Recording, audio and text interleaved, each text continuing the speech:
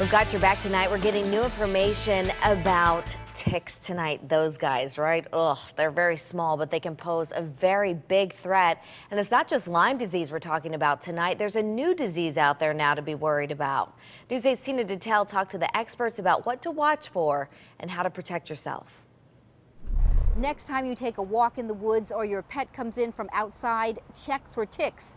This is another reason to do so.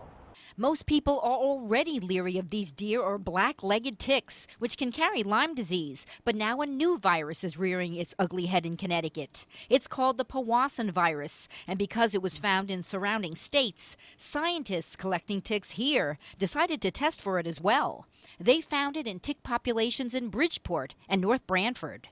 We found that about 1 to 4% of the ticks carried the virus in these locations. In comparison, Lyme disease is found in 20 to 40 percent of those ticks. Powassan is rare, found only in about 10 people a year nationwide, but it can be severe. About 10% uh, of those cases can be fatal and it causes, it infects the central nervous system. it is not treatable, but the good news is most people can fight it off. We think that most people that are exposed to the virus don't develop any severe disease. Their immune system takes care of the virus. And that is what Philip Armstrong, a research scientist with the Connecticut Agricultural Experiment Station, wants people to know. Still, he stresses folks can protect themselves by avoiding getting bitten. He says wear long sleeve shirts and long pants tucked into your socks. Use a tick repellent and always do a tick check. If you find one, use forceps or tweezers to pull it out. Grab the tick as close to the side of attachment and pull straight out.